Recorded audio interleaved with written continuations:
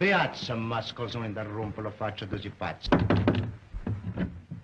Who are you? I'm fine, thanks. Who are you? I'm fine too, but you can't come in unless you give the password.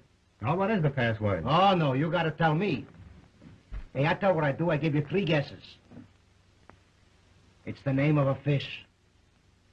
Is it Mary?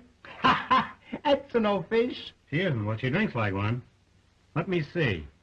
Is it sturgeon? Hey, you're crazy. Sturgeon, he's a doctor cuts you open when you're sick. Now, I give you one more chance. I got it. Haddock. That's the funny. I got a headache, too. What do you take for a haddock? Well, now, sometimes I take aspirin, or sometimes I take a calomel. Say, I'd walk a mile for a calomel. You mean chocolate calomel. I like that, too, but you know, guess it. Hey, what's the matter? You don't understand English? You can't come in here unless you say swordfish.